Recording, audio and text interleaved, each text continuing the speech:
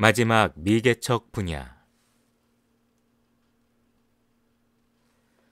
1969년 아폴로 11호를 타고 달 착륙에 성공한 미국 우주비행사 버즈 올드린이 인터뷰했다. 우주도 갔다 왔으니 인간에게 남은 마지막 미개척 분야는 어디일까요? 기자의 질문에 그는 이렇게 대답했다.